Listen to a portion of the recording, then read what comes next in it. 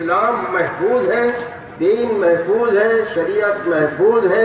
अल्लाह तबारक ने उसकी हिफाजत और हिमायत का ऐसा जिम्मा लिया है कि अल्लाह ने अपने हबीब मोहम्मद रसूलुल्लाह सल्लल्लाहु अलैहि वसल्लम से भी फरमाया कि आप भी इस दीन में इस कुरान में, इस शरीयत में तब्दीली लाना चाहे तो आप भी तब्दीली नहीं ला सकते। दूसरों का क्या मसला और दूसरों का क्या मामला?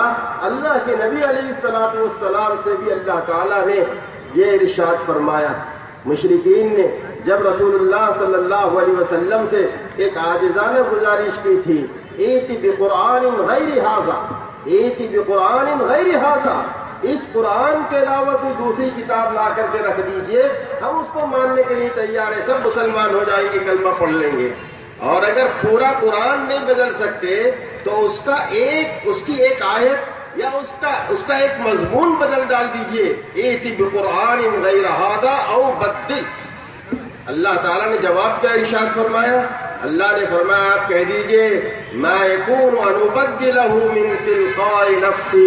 मैं अपनी तरफ़ से इसमें कोई तरमीम और तब्दीली करने का मजाज नहीं हूँ और मुझे ये अख्तियार नहीं है। अगर मैंने खुदा न खास्ता बफर्ज मुहाल ऐसा कर लिया और सामने वाले की बात मैंने कुछ सुन ली, इन्नी अखाफ नासई तो रब्बी आजाब अजीम, मुझे भी क़यामत के दिन के अजाब अजीम का डर और खौफ लगा हुआ है। तो हमारी शरीयत इतनी महफूज है, अल्लाह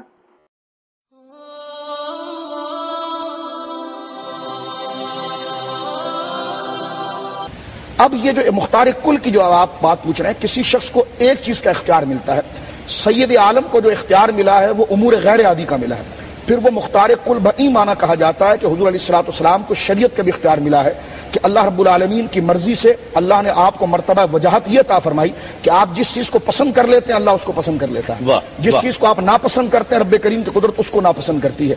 तो शरीयत में किसी चीज़ को फ़र्ज़ करना और किसी से फ़र्ज़ को साकित कराकर उसके लिए मुस्तहब या गैर ज़रूरी कर देना तो ये तशरी इख्तियार यानी मिसाल के तौर पर जिस तरह रोज़े के हकाम में बात आती है। जो सरकार ने फरमा दिया वो शरीयत हो गई। वो शरीयत हो गई। जैसे रोज़े में आती है एक शख्स ने जनाब जो है कि वो दौरान रोजा रोज़े में वैसी हरकत कर दी जिससे रोजा फासिद हो जाता है। सईद आलम के पास आया तो सियासत्ता में ये मुतबातिर तरीके से आई। अल्लाह इबन हज़रत खलानी ने इसके मतन के तबातुर का दावा किया है और ये लिखा है कि जब वो हजूर की बारगाह में आया तो सरकार ने फरमाया हाँ क्या हुआ? कहा हजूर मेरा रोजा टूट गया। सरकार ने फरमाया ठीक है फिर ऐसा करो कि साठ दिन के रोज़े रखो। उसने कहा हजूर पहले रोज़े में ये हाल है तो साठ दिन के रोज़े कहाँ से रखू? सरकार ने फरमाया फिर ठीक है तुम इतने मिस्किनों को खाना खिलाओ। कहा मदीने का तो सबसे बड़ा मिस्किन मैं मैं किसको खाना खिलाऊं? हजूर ने कहा बैठ जाओ। यही कफारा शरीफ बन रहा था उस पर। अब थोड़ी देर के बाद एक शख्स आया या कोई खातून आए उसने जनाब जो है तश्त में खजूर ला कर दिया। सईद आलम सल्लल्लाहु ने शाह फरमाया कहाँ गया वो जो रोज़े के कफारे की बात कर रहा था? उसने कहा हजूर मैं हूँ। फरमाया ये खजूर लो और मदीने की मिस्किनों को खिलाओ। तमाम की तरफ़ से कफारा हो जाएगा। हालाँकि कुरान में ऐसा कुछ नहीं लिखा हुआ। उसने कहा हजूर मदीने के सर से लेकर उस सर तक मैं ही मिस्किन हूँ। हजूर ने मुस्कुराया। फरमा खुद खा ले अपने बच्चों को खिला दे कफारा हो जाएगा। क्या बात। तो ये इख्तियार तशरी मुख्तार कुल का एक जुज है। फिर उसको आगे तफसील से एक कॉलेज मोजात का ज़िक्र किया और इख्तियार का ज़िक्र किया और उसके दवाम का भी ज़िक्र हुआ। ये और मुफ्ती साहब ने मिसाल से समझाया और मिसाल चीज़ को समझने में ज़्यादा आसानी होती है। किसी चीज़ का तोहफा देकर तो दिया हुआ तो अल्लाह का ही है। इसमें फिर स, किसी भी शख्सियत या सरकार दो आलम सल्लल्लाहु अलैहि वसल्लम की फजीलत का पहलू क्या हुआ? कि जब दिया हुआ अल्लाह का है अता किया उसमें फजीलत अकल सलाम की सवाल किया जाता है कि हुजूर की फजीलत फिर क्या है? यकीनन वो उन तमाम हजूर सलाम की फजीलत ये है कि जो बुखारी शरीफ की हदीस है हज़रत अमीर माविया रदी अल्लाह कहते हैं कि मैंने हजूर को खुद फरमाते हुए सुना कि मैं यूरदल्ला खैर फ़िन व इन नमाना कासिम यूती कि अल्लाह रब्बुल जिससे भलाई का इरादा फरमाता है उससे दिन का तफक् अता फरमाता है और बेशक मैं ही बांटने वाला हूँ और अल्लाह देने वाला है।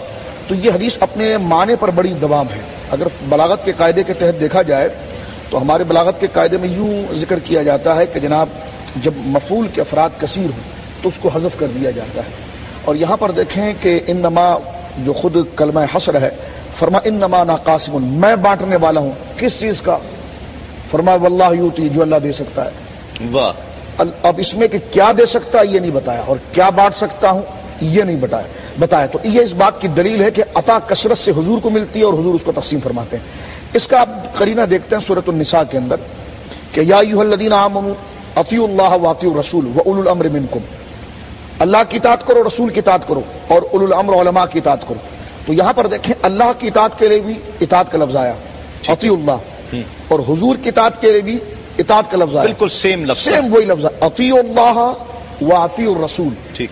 और उल अम्र जो नीचे के लोग हैं उनके लिए इतात का लफ्ज नहीं आया। यानी उनकी इतात को ताबे कर दिया है हुजूर सलाम और अल्लाह रब्बुल आलमीन की इतात से। तो यहाँ से पता चला जब हुजूर अल्लाह ही का अहकाम बताते हैं अल्लाह ही की बात बताते हैं तो वो तो अल्लाह की इतात हुई तो फिर हुजूर की इतात कैसे हुई? यहाँ पर एक सवाल मुफसरिन खड़ा करते हैं। कि जनाब ये तो हुजूर अली जिस तरह आपने फरमाया जब हुजूर अता करते हैं अल्लाह की तरफ़ से अता करते हैं तो यहाँ पर देखिए एक सवाल खड़ा होता है कि जब हुजूर अली सलाम जब तमाम करीने तमाम वजाइफ और तमाम औराद और तमाम फ़िकी मसाइल और शरीयत के तमाम जुजियात को जो ज़िक्र करते हैं, वो अल्लाह की मर्ज़ी और अल्लाह के हुक्म से ज़िक्र करते हैं तो फिर इस बात को क्यों ज़िक्र किया जाता है कि रसूल की तात करो? तो इसका जवाब जो इजमाही तौर पर मुफसरीन ने दिया है, वो ये है कि अल्लाह रब्बुल आलमीन जो हुक्म मरहमत फरमाता है वजाहत कुरान के अंदर हो जाती है। लेकिन कुरान की तशरी तफसीर के लिए, हजूर सलाम उसकी तफीम के लिए हजूर को मकाम वजाहत वता फरमाया गया कि आप अपनी मर्ज़ी से उसकी तफसीर फरमाते हैं। वो मर्ज़ी होती अल्लाह के हुक्म के ताबे ही है। लेकिन एक बात यहाँ पर सुने कि यह नहीं कि फला काम आप करें फला काम आप करें।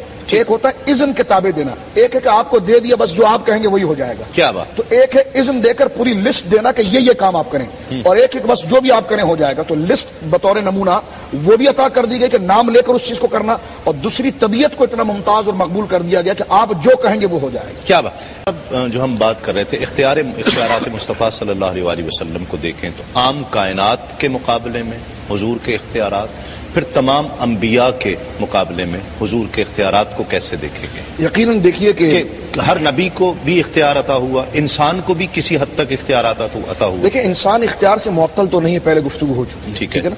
लेकिन उसकी ताकत और उसके बिसात के एतबार से जो है कि उसका दायरा इख्तियार मुतयन किया गया। हमारे लिए आदतन जराए हैं हज़रत अम्बिया इकराम के लिए गैर आदि जराए हैं। हज़रत मूसा एक पत्थर के ऊपर असा मारते थे उससे बारह चश्मे जारी होते थे। आपने देखिए जिस तरह के ज़िक्र किया वो मैं उस तरफ़ आ रहा हूँ। फसखर ना लहुर्रिह तजरीबी अमरी ही। है सो साहब कि अब देखिए कुरान मजीद ने ज़िक्र किया है कि हज़रत सुलेमान सलाम के ताबे कर दिया था हवा को। फसखर ना लहुर्रिह क्योंकि वो मौजू बन गया है इस वजह से मैं ज़िक्र कर रहा हूँ। तो वहाँ पर कुरान करीम तो ये ये कुर्ता आपको पेश कर दो। फुरकान हमीद ने वहाँ पर ज़िक्र फरमाया अल्लाह रब्बुल आलमीन ने शाह फरमाया कि हमने हवा को ताबे कर दिया सुलेमान सलाम के। और वो सुलेमान के हुक्म से चलती थी। तो वहाँ पर तमाम उलमा ने इस बात को लिखा, ये देखिए इख्तियार हैं। एक बात, इसी तरह, हज़रत मूसम का आपने देखा, ये इस तरह, हज़रत ईसा जो है कि वो उबरी अकमा वबरसा वो मऊत तबी इज़्निल्लाह। जो माँ के पेट से नाबीना पैदा होते हैं तो हज़रत ईसा सलाम जनाब उनके चेहरे पर हाथ फेरते तो शिफा हो जाती। साहिब जलालुद्दीन सूती ने यह लिखा है साहिब मंसूर ने कि एक दफ़ा यूँ कि पचास हज़ार नाबीना आ गए। तो आपने अपना जुब्बा अपने खादिम को ता फरमाया कि तू यहाँ से सिर्फ़ मेरा जुब्बा उनके मुँह पर लगा और वहाँ से वो अपने हाथ को फेरते थे।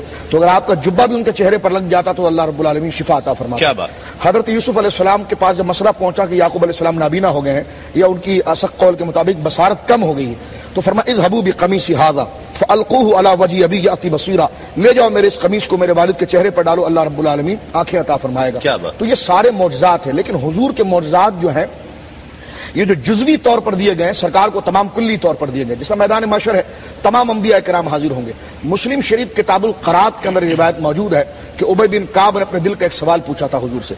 उसके आखिर के अंदर सरकार ने ज़िक्र फरमाया कि उबई सुनो कयामत का दिन होगा और मेरी शान और अजमत ये होगी कि योम यरगबो खत्ता इब्राहिम कि कयामत के दिन सारी मखलूक जो है वो उमंड कर मेरे कदमों पर आएगी। यहाँ तक कि इब्राहिम को भी मेरे पास आना पड़ेगा। तो ये आपकी अबकरियत और आफाकियत और ये सरकार सलाम के मरतबे का उलू है। औलाद का सरदार हूँ। इसी के तहत इमाम नबवी ने सैयद का माना लिखा है कि सैयद किसको कहते हैं? फरमा सैयद उसको कहते हैं जिसके हुजूर मुश्किल और मसाइब और शदाइद को लेकर पहुँचे तो अपने कर्म से उसको रफा करे और मुश्किल कुशाई फरमा दे। क्या बात।